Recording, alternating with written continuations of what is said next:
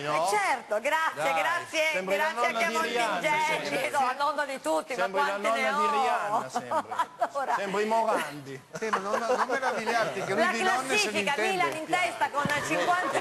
Oh, ma hai fatto male. Adesso ti, ti butto fuori, cartellino rosso. Lui me le dà quando non è inquadrato. Pianta, l'hai capito? Milan Perché 50... eh, ma io ho dato una legnata Non ce la faccio più. Milan 50 punti in testa alla classifica, la Juventus segue con 49, ma ricordiamo che la Juventus deve recu- scusa il Mondonico da parte di tutto lo studio. La Juventus deve recuperare un- una partita con il Bologna, poi l'Udinese e la Lazio, come giustamente anticipava Reia, sono al terzo posto, appaiate con 42 punti. Roma 38, Napoli 37, Inter 36, Palermo 34, Come- Cagliari come leggi 31. la classifica tu, Chievo ragazzi? Genova 30, Fiorentina 28 e vai Non avanti c'è tu. nessuno al mondo. Parma Parma 28, Atalanta 28, Catania 27, Bologna 25, Siena 23, Lecce 21, Novara 17, Cesena 16 ma con una partita in meno, quindi Novara è ultimo. È vero. E allora andiamo a sentire le interviste anche da Udine. Picchiami, dai, Con eh, eh, Aurelio Capaldi cominciamo con Guidolin. Eh, Emiliano Mondonico, abbiamo visto Guidolin nervoso in campo, l'abbiamo visto invece adesso come sempre molto filosofico e, e- e pacato. Eh, dice giustamente Guidolin raccoglieremo quello che meritiamo, una filosofia eh, di buon Stasera, senso. stasera abbiamo visto prima Ranieri, dopo Reia che ha preso 5 gol, Guidolin che è uscito incavolato, come un attimo dopo... Perché siete bravi a mettervi no- la maschera o bravi diciamo- a sì, trattenere sì. le emozioni? Sicuramente siamo molto bravi a non far trasparire quello che sentiamo dentro, soprattutto in momenti, in momenti particolari. Il mestiere dell'allenatore non è semplice come, come sembra, per quello ho detto a Reia quanto tempo ci metti a smaltire una delusione così.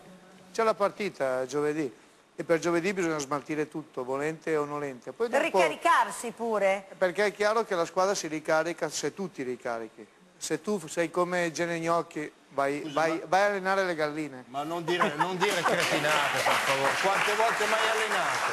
Quattro. Mai allenato cinque volte, non Quattro. ti ho mai deluso, E gli dai. è bastato. E poi Andiamo- tu sei un gran paraculo, perché Non dire si- parolacce. Ma È la verità, perché non lui siamo quando... in altre trasmissioni dove girano le parolacce, Vabbè, ma qui nel mio studio non si dicono. Sono- la signora Franca deve andare a letto, scusa questo. Ma tu avevi Eh, fatto, 12 scusami, un provino all'Albino Leffe, No, mi ne ho dicono. fatti 4 o 5, mi ha fatto fare 4 o 5 provini, poi non mi ha preso. continuava a poi non provinare, preso. è, è il destino dei grandi artisti. Come sono andati questi provini? Lui era bravo ma Te lo dà il lento. cinque? Bravo Lento? ma lento. Proprio si vede lento, che è un po' lento, anche, lenco lenco anche, anche nel leggere la partita. Sai cosa c'ha lui? Lui c'ha questo, lui porta agli allenamenti, porta 10 salami, no? Poi L'ho poi- letto che, che però insomma il salame non fa sempre bene, poi grassi, poi, insomma. Ma è gra- vero, è vero, cioè, io sono venuto a Firenze e avevi salame, a- ad Albino Leffe Anche adesso a Novara lo porta, Lo, lo so, porti, porti il salame, solo che te lo fa mangiare prima della partita, per forza. Beh, se se ne portava male uno dopo. noi No, durante lui, i lui servizi. invece mi ha portato il grana. culatello il portato, culatello. portato il culatello. Eh C'è differenza tra salame e culatello. Ah, Ah, assolutamente. sarà meglio il salame. No, sarà. meglio il non culatello. divagare. Ma ragazzi, sarà meglio il salame. Meglio il culatello. Vabbè, sarà meglio il salame, salame con l'aglio, tra l'altro. No. Salame con l'aglio, con l'aglio. No, l'aglio Cremonese, pieno di ma aglio. Bene, mi manda un programma di cucina, siete pronti per un nuovo format? Ballardini con, con Capaldi. Invece volevo chiedere ad Emiliano, che prima parlava di allenare le galline, eh, siccome, eh, sì, no, appunto lui deve allenare le galline, siccome abbiamo due galletti, stai sono dicendo? due galletti stai che sono due tuoi colleghi molto giovani, e sono Conte e Allegri, però a loro modo sono due galletti. Che cosa ti ispirano questi due galletti? Penso che per, per voi è una buona cosa che ci siano queste, Spunti nuovi. questi, questi spunti uno con l'altro così ci potete girare sopra.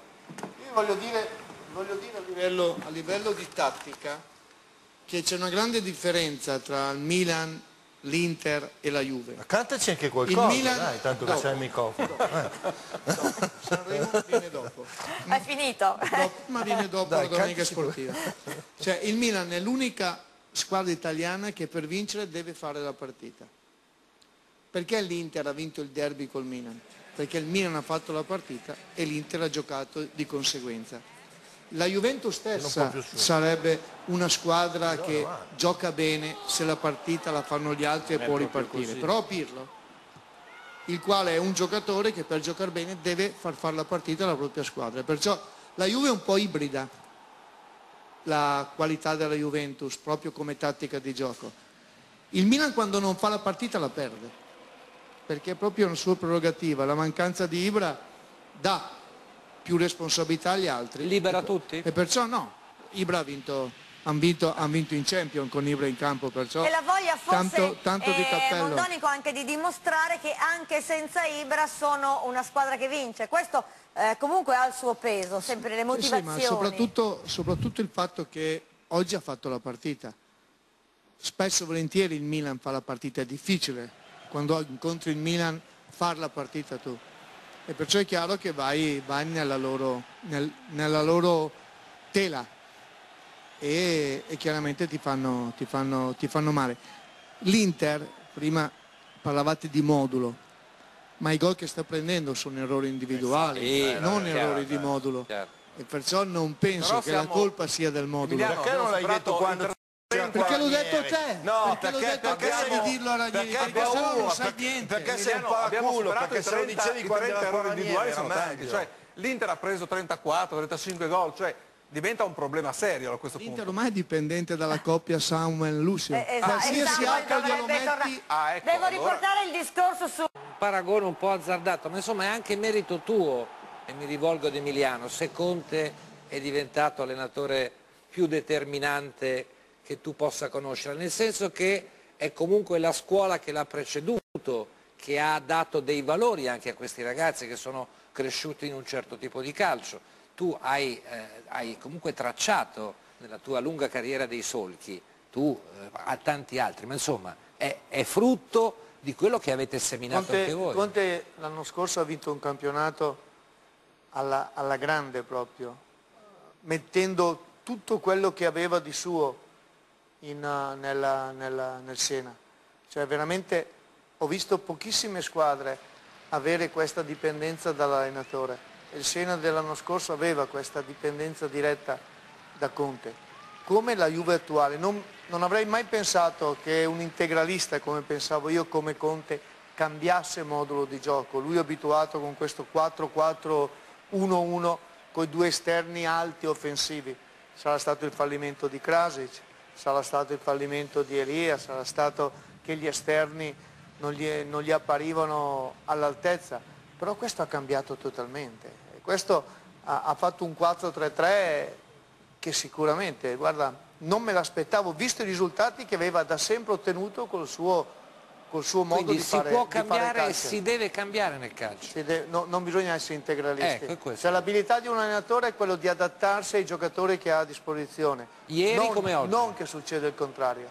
È quello che abbiamo dicevamo Ade- all'inizio di adesso però è alla campionato. 3, cioè adesso è Prego? addirittura 3-5-2, cioè come a Napoli aveva fatto il 3-5-2, cioè ha cambiato proprio radicalmente il suo... Perché i suoi giocatori rendono al meglio giocando in quella maniera.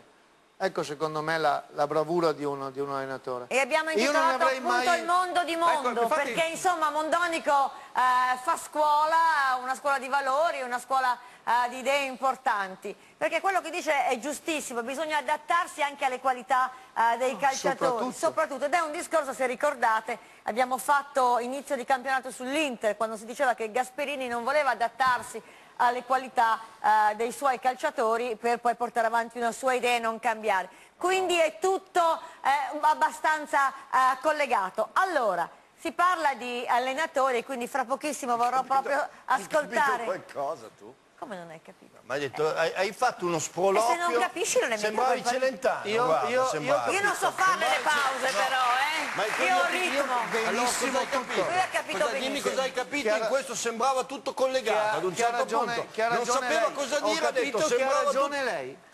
Tu, Hai sei, tu visto? sei veramente una persona squallida, te lo dico io, guarda, sei una persona Tra un attimo squallida. vorrò, eh, ascolterò con interesse l'opinione che ha fatto eh, un grande allenatore di grande esperienza, basta, stai buono, come Mondonico su Luis Enrique perché stiamo andando a vedere la vittoria della Roma sul Parma con Francesca Sanipoli.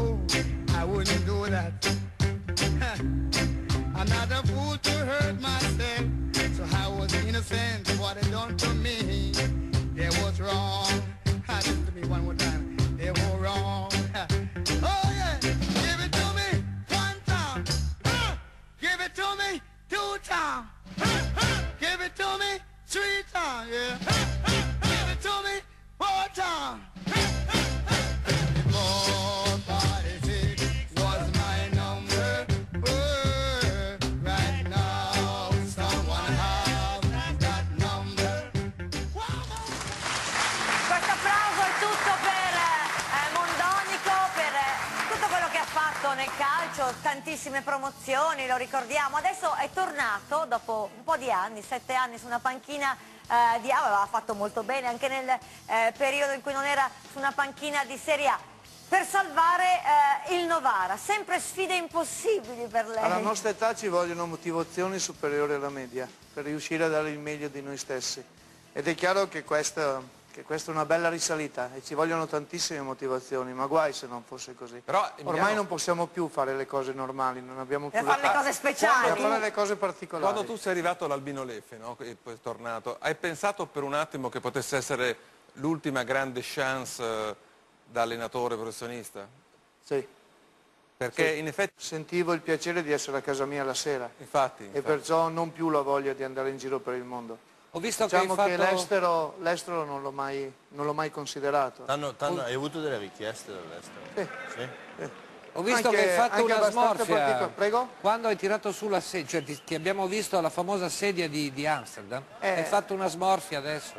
Sì. Perché? No, adesso la smorfia perché faceva freddo. Ah, domenica faceva freddo. No, questo è stato, è stato una, così un momento distinto. Ogni tanto mi esce, eh. c'era un'altra sceneggiata dove, dove litigavo, litigavo con un tifoso in tribuna. sì, mi L'arbitro mi ha espulso, la domenica dopo c'era Albino Leffe e Juventus e gli ho detto adesso vengo su a prenderti. Meno Si male chiesto- che mi hanno fermato, se no rischiavo anche di Si è chiesto perché il Novara ha scelto proprio un mondonico? Non lo so. Però il Novara è stata l'unica società che non mi ha chiesto come stavo. Cioè, alla telefonata non mi ha detto come sta. Perché quello mi, mi faceva subito, non dico dire di no, però mi metteva subito sul, sul chi va là. Loro mi hanno detto se noi abbiamo bisogno di lei, lei è disposto? E io ho detto, va bene, ditemi. Dopo due ore mi hanno detto lei è uno dei nostri e mi hanno, e mi hanno aperto tutto. Penso che sia inutile rimangare sempre le stesse cose, però è, stato, è stata una cosa, una cosa importantissima per me. Ed ecco perché le motivazioni devono essere superiori, ma di molto alla, alla- alla media. L'Albino F è chiaro che era un po' come stare a casa mia. E anche lì, cioè allenare l'Albino F è una cosa particolare, allenare l'Albino F è una cosa bellissima. Allenare l'Albino F è, quando l'allenatore è chiaramente un po' al centro assieme al presidente di tutto questo, questo mondo. È quello che noi attorniati da collaboratori, aiutanti, aiutanti degli aiutanti. Sai, alla fine l'allenatore è quello, vabbè facciamo la formazione oggi, poi tutto il resto ci pensano, ci pensa un po' l'entourage. Lì all'Albino Leffi invece ti sentivi allenatore come si sente un allenatore dei dilettanti, che ti dico per assurdo deve aprire e chiudere il campo d'allenamento. Senti, ti Lì non offre- succedeva. Io ricordo, non te l'ha chiesto, non te no, l'ha chiesto il Novara, ma ti possiamo chiedere noi come stai? Ma possiamo? Chiederti noi come stai? Bene. È in forma strepitosa. Io non so Cioè, cosa dire. prima, Non per, per essere troppo gentile, ma devo dire veramente in forma strepitosa. cioè, prima di che, che Gene mi, mi desse qualche colpo basso, diciamo stavo, stavo meglio. Adesso un po' Adesso Senti, Eh, non, deve non riprendere- rispetta, No, non rispetta la cintura. No, volevo dirti, per dire l'ambiente che c'era al Binolefe, correggimi se c'erano dei giocatori, per- e io non so se fosse B, tu mi, tu mi raccontavi che d'estate andavano a fare i tornei notturni, io mi ricordo, c'era, c'era qualche giocatore che andava a fare... Sei ma veramente no- una persona squalida, non si può veramente. dire, ma Ah, lo non so si che- può dire. Ma non diciamo chi, però è vero. Ma non si può, non è E vero. allora, una. Guarda che abbiamo perso- ho organizzato al Binoleppe addirittura una partita per far giocare il No, genio. ma scusa, ma... Ma l'ho pensa, cioè, fare. Ma pensa... perché, mi domando, Era perché? perché era un dato di testa, veramente ero un po' rincoglionito, hai ragione Ci te. sono dei momenti ogni tanto. Allora però adesso le facciamo vedere eh, una- un'immagine, una clip, qualcosa che lei ultimamente fa un po' spesso. Vediamo. Ci chiedevamo se oggi aveva chiamato Caracciolo col suo nome. Dopo il gol di domenica San Siro diciamo che ci penso un po' di più, sette volte su dieci lo chiamo col suo nome. C'è stato un episodio all'inizio su Bonazzoli. Ah, se avesse fatto gol oggi non ci saremmo più confusi. Eh, chi c'è Mondonico? No, volevo presentarmi che sono Caracciolo e non Bonazzoli. Ogni tanto mi chiama Bonazzoli.